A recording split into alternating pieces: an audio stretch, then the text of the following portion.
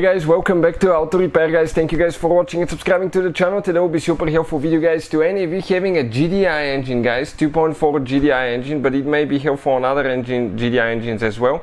If you need to remove or replace valve lifters, stay with us, we will explain how to do that. One common mistake people make that can cost you quite a bit of headache and quite a bit of money as well. So we're going to share that as we go. Before we start, let me just tell you a little bit about us. Every single car we get at the garage, we try to make at least 2 to 300 free repair videos why we do that? Simply because our mission at the shop is to save you guys as much money as we can.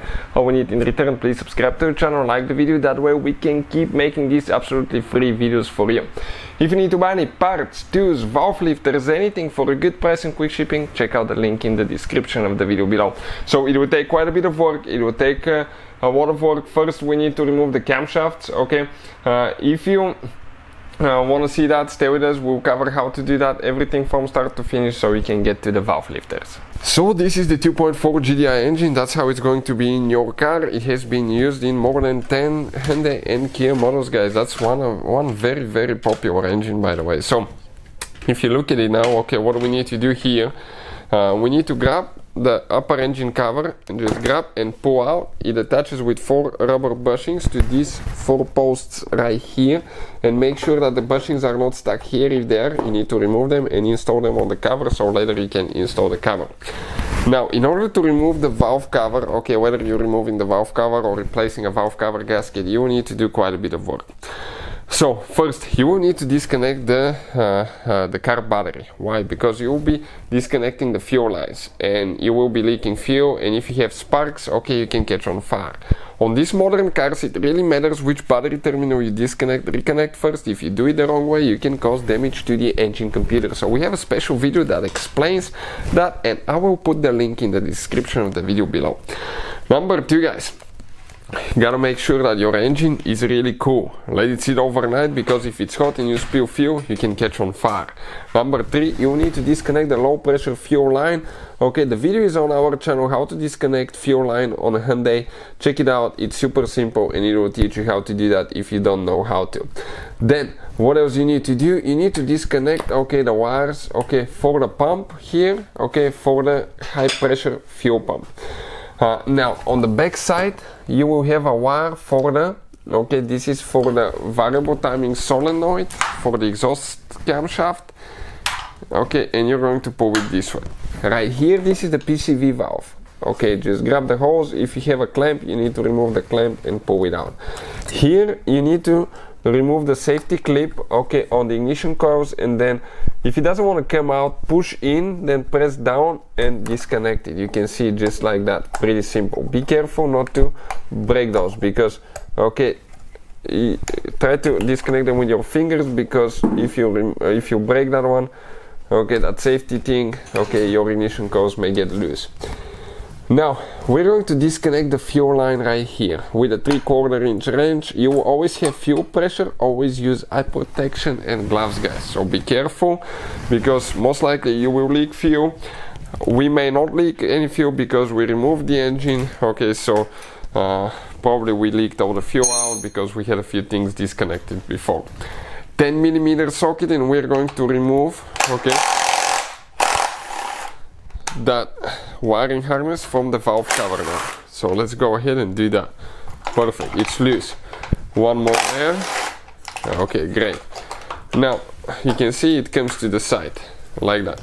Now we need to remove the fuel pump, high pressure fuel pump.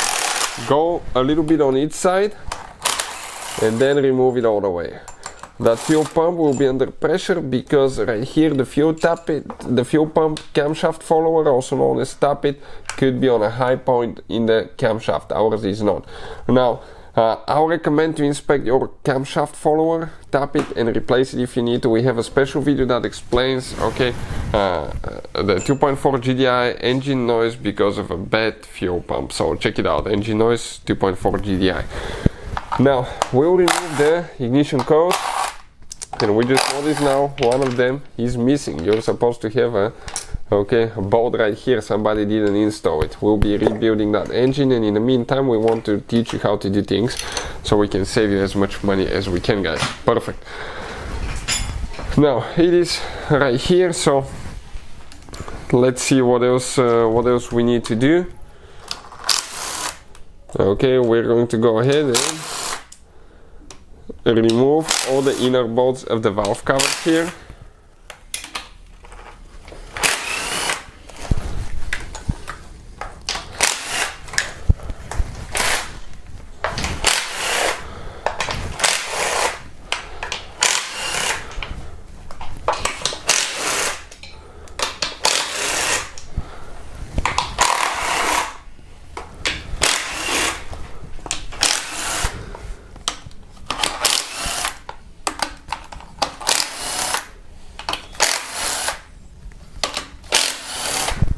all right now we can go ahead.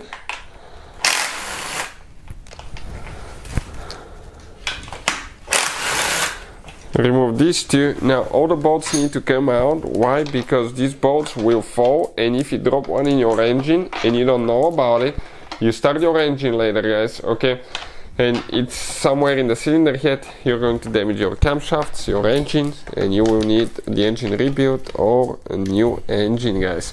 So always have to be careful not to drop anything. Okay inside. Okay I got these two. Okay right there. Both of them. They came out. Perfect. Now this is the valve cover now. Let's see if we have anything else holding. Always inspect. Okay we have one hose.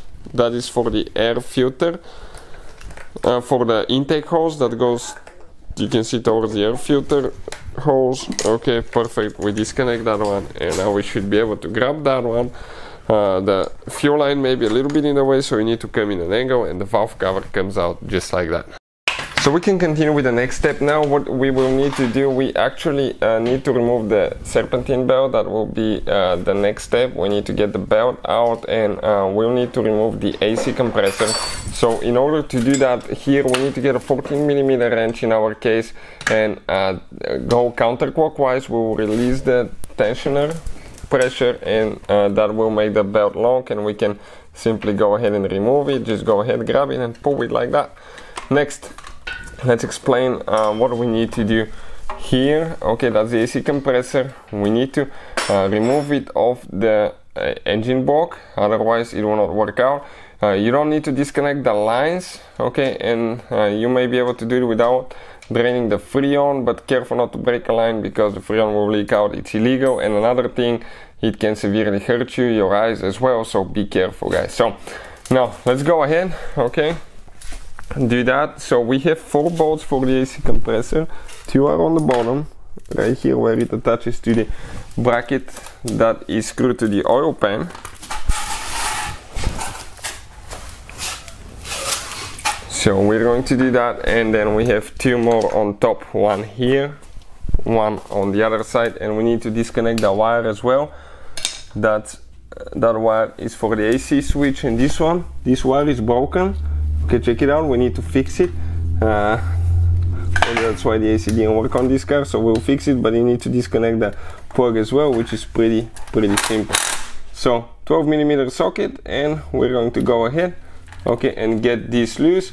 Now it'll be easier if you do the top ones first guys because if you do the bottom ones what can happen okay when you do those bottom ones okay the top one will not be holding it. So let's go ahead do the bolts on top now. One is out.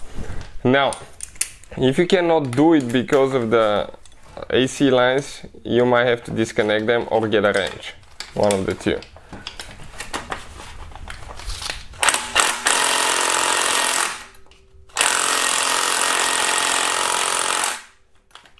So this one I think the battery is weak on the thing as well but uh, we can we can just do it with a wrench get this one loose.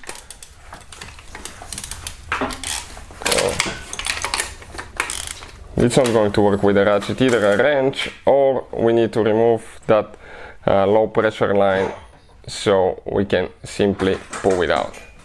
So let's go ahead do that. If we just pre-loosen it we can simply unscrew the bolt after that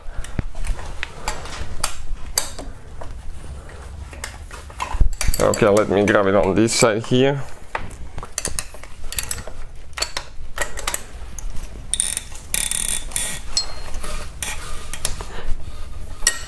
it was extremely tight.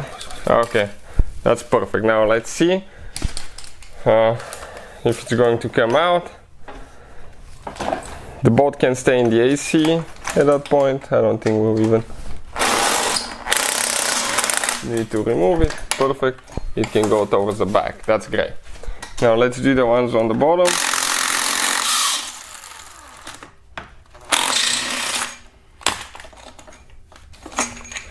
So one bolt will stay in the AC compressor and the rest okay will come out. Now that AC compressor will be stuck. You have two guides one on top one on the bottom and they can they tend to corrode sometimes. So just wiggle it a little bit. Be careful okay and you can see right here that's one of the guy. The other one is actually installed on the AC compressor. Okay and I'm talking okay let me see right here. Okay so we have two on top not on the bottom. Now next step we need to remove that bracket. And for that specific bracket we have 12 millimeter bolts two three four bolts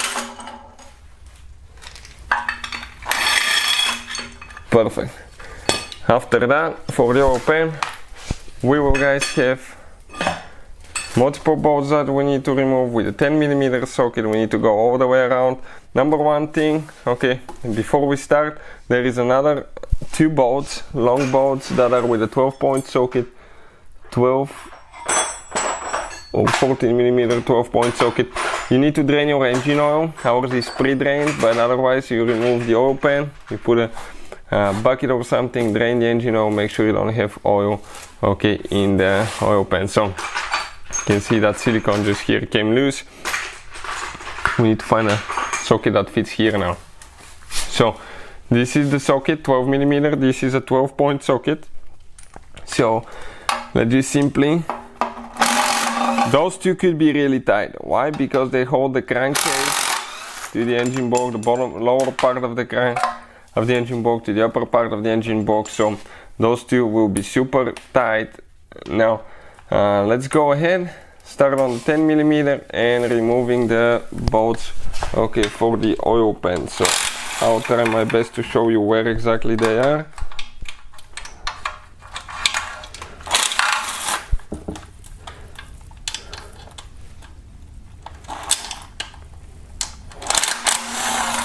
so one by one. We start removing them.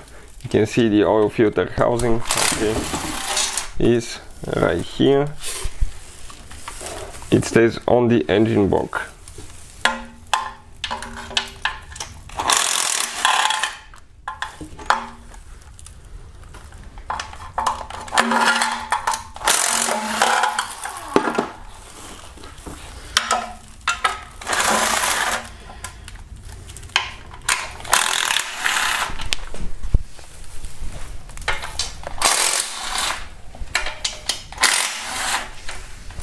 and we just keep going all the way around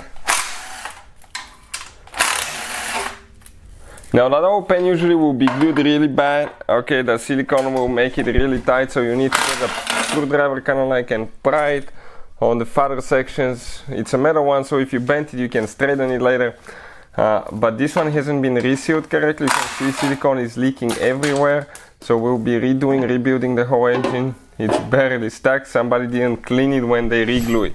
What you need to do okay when you're doing the oil pan guys you need to clean the engine block really good get a scraper clean everything good clean the oil pan make sure it's not contaminated use the rubbing alcohol to clean the contacting uh, points like the engine block and the oil pan and then you apply the silicone. We'll show you which silicone uh, we, we use in uh, just a second. So let me just grab it quick so this is guys the silicone, okay right here, Grey Gasket Maker, it's a high temperature, it's amazing one. So once you clean everything, you're going to apply it on the inside of the bolt.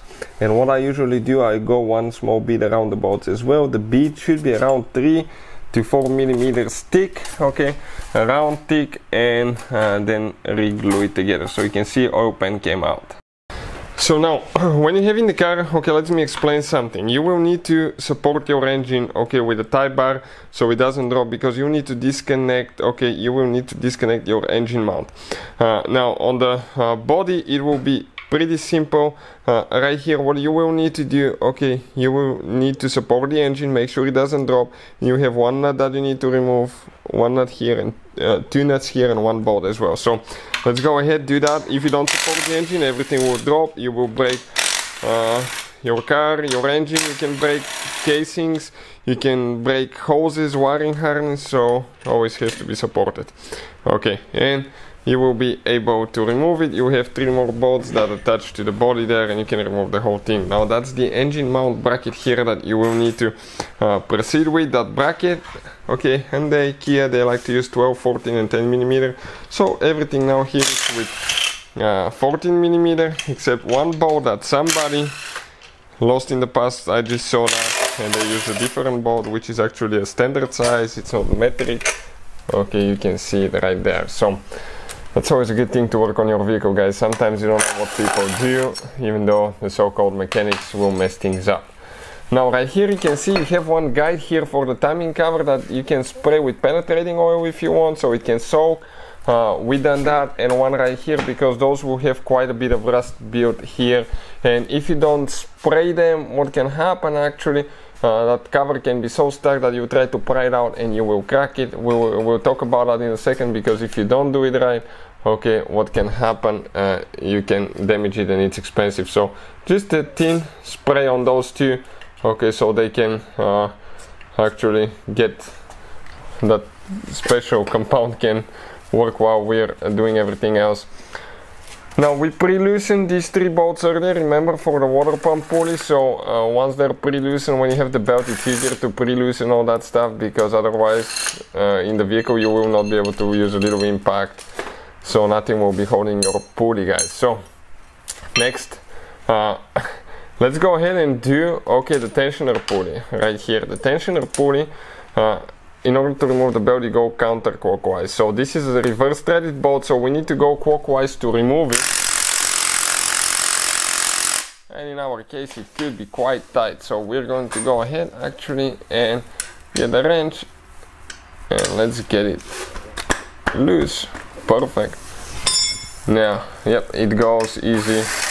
You can see reverse threaded bolt. Now right here underneath we have another bolt and this is a normal threaded bolt. This is not reverse this is normal threaded bolt. All we have to do, go ahead, pull that one out as well. Perfect. This one came out. Now you can see even on the engine book it says Hyundai and Kia right here. The same engine has been used on both guys. So here 12 millimeter, uh, 14 millimeter, excuse me, and we need to remove the idler pulley.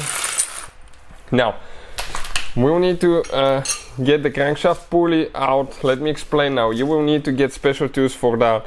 Uh, but for any of you guys okay that don't want to use special tools you can do it but i do not recommend it. Uh, with the special tools what you can do remove the engine starter and install the tool on the flywheel or you can install the tool okay through the casing on the transmission right here. You remove these two bolts practically you remove these two bolts you install a special tool that goes in the flywheel here so it can lock it in place and it's uh, not going anywhere. So now let me show you we got our pre-loosen already because we used an impact. Okay you can do it with an impact but getting it tight you cannot get the correct torque specs and you don't want to leave it loose even though uh, this this is a keyed pulley. It's not as dangerous as having an engine that doesn't have a key pulley. Now what we can continue with we can start removing all the bolts for the timing cover. So let's start with 12 millimeters first. Okay I'll come in an angle like that so you can kind of like see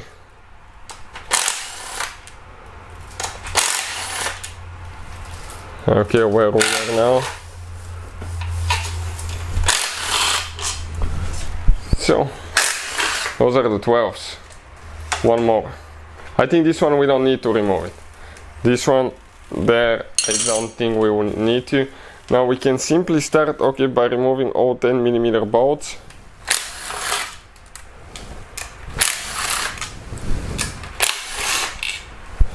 Okay, perfect.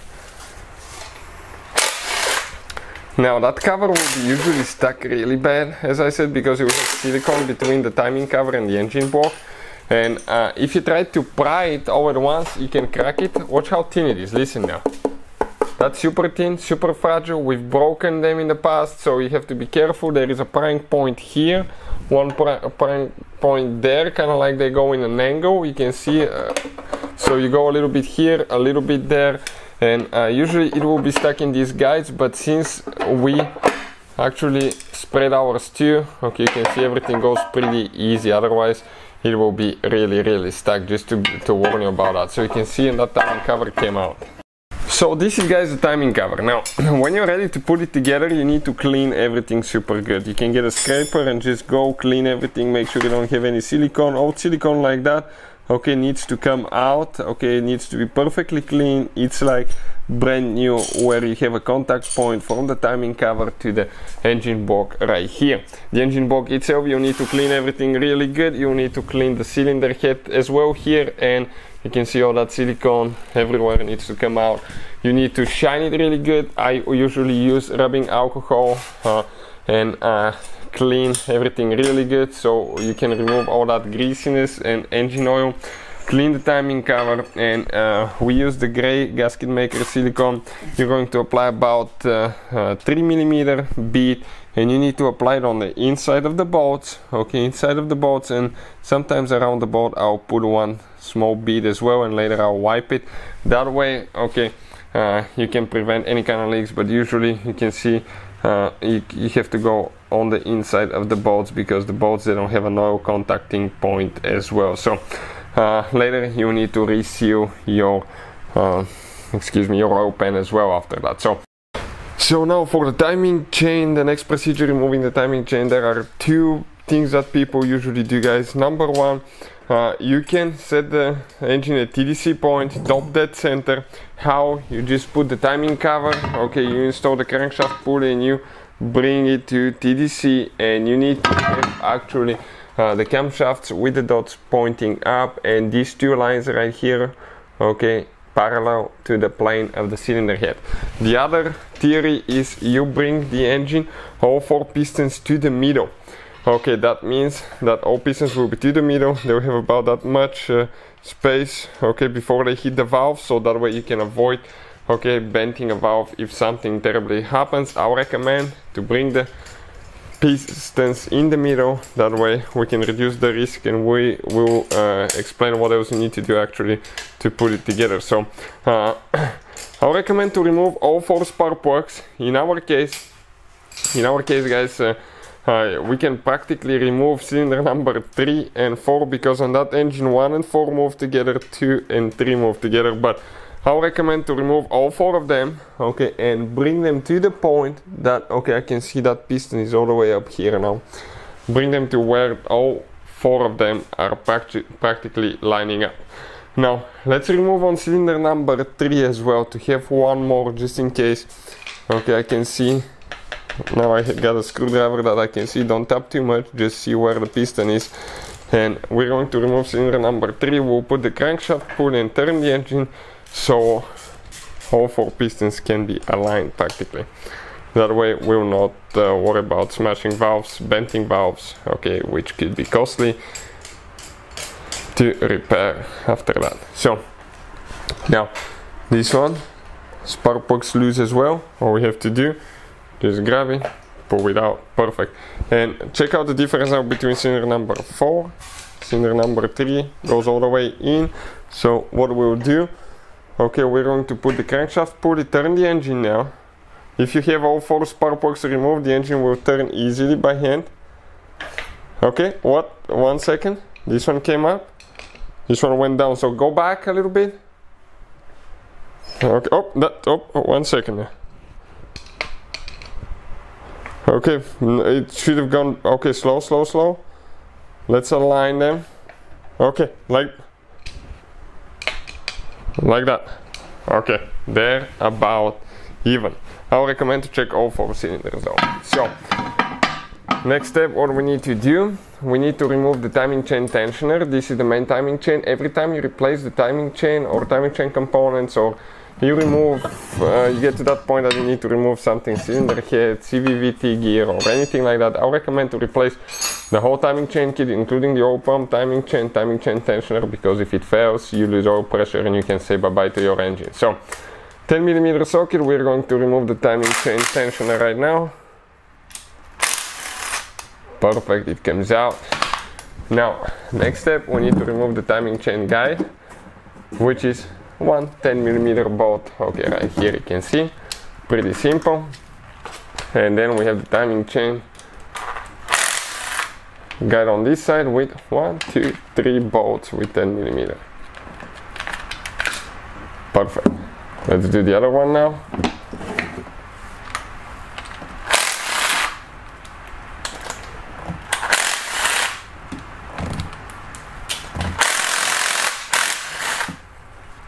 You can see we are advancing here guys so now that's the chain that's left here and if you pull that okay that crankshaft pulley it will come out like that.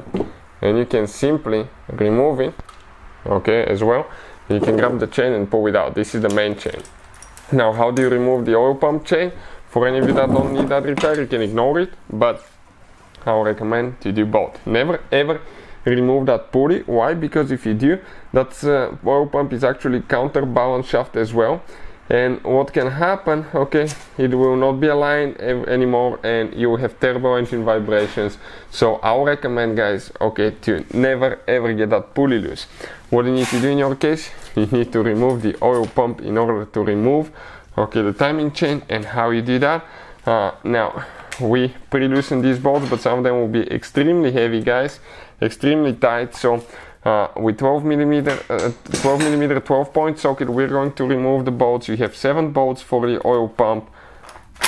Right here you can see one.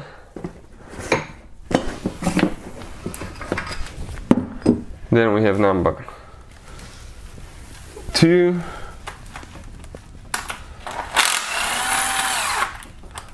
Great, watch how long that bolt is. Three. Number four.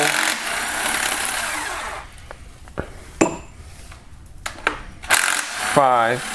I believe we have seven bolts six. And number seven. Now that oil pump be careful it will drop on the last bolt you need to hold it really good because it can really drop and smash your face practically. Now we made a mistake guys. Okay. So let me explain what we were supposed to do first. We were supposed to remove okay the timing chain tensioner the tensioner first. Tensioner needs to come out first.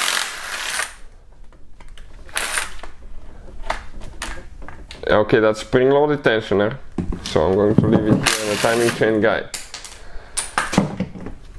Now that pump Let's see if it's going to come out.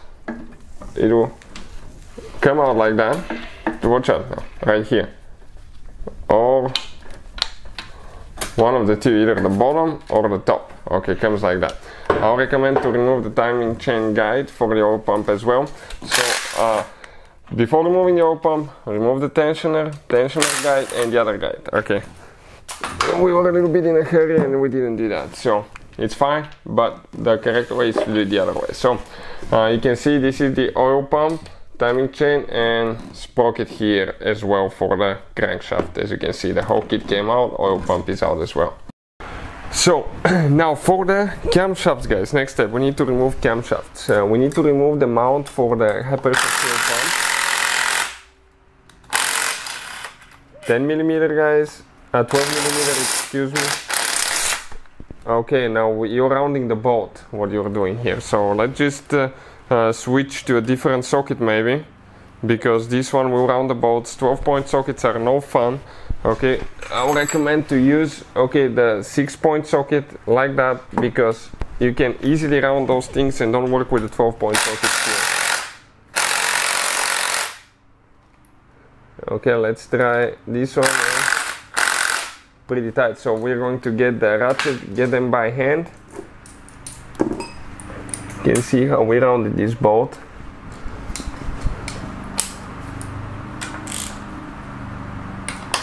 Okay perfect. Great. Now let's go ahead do that. And we can continue to the camshafts after that. So that mount should come out the whole bracket. Perfect. Now the camshafts guys. There is a sequence of removing them not just installing. You need to start with the big uh, with the big thing on the front now we need to start them probably by hand especially the 12s I don't think they'll go with the machine. Okay we're going to pretty loosen those. Now let's go ahead and remove that one so at least we don't have to unscrew them by hand. Perfect. Now we can pull that cap out.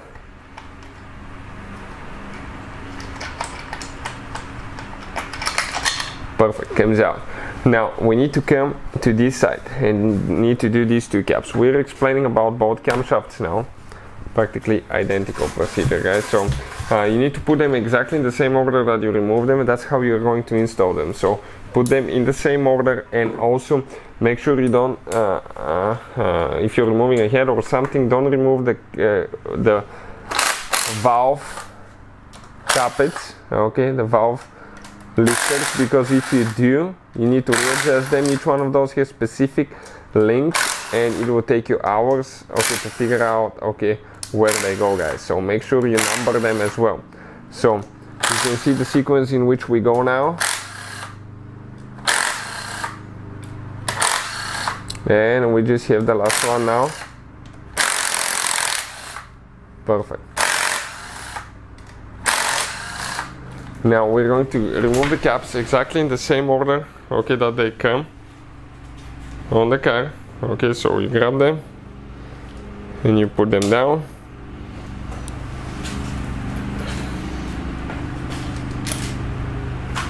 Okay you can see how they go. Perfect we have two more and practically guys the camshafts can come out now let's check it out we can lift them up and they should come loose Okay, that's intake camshaft, exhaust camshaft. So that's how you guys remove them.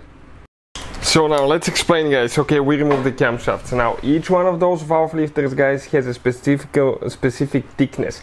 Each one of those is different so it can have a specific clearance. It's not, they're not hydraulic lifters. Hydraulic lifters are self-adjustable, those are manual lifters. So if you're replacing them you will need to set the gap, okay you need to Put the valve lifters, you need to install the camshaft, get a gauge too and check the specs according to your ear and engine guys and specification.